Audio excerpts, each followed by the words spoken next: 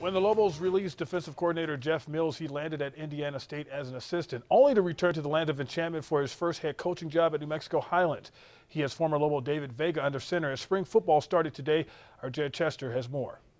A new chapter of New Mexico Highlands football begins today in spring practice, and there's excitement surrounding the team with the addition of a new system, new coach, and potential starting quarterback. Hey. People that know me know that I'm high energy, very positive. Okay, I'm a man of faith. We're going to do things the right way out here. We're going to walk and talk the right way as a team. And so I'm just going to be myself. And uh, that's the advice I've been, been given by a lot of people, including my wife Carmen. And that's what we're going to do.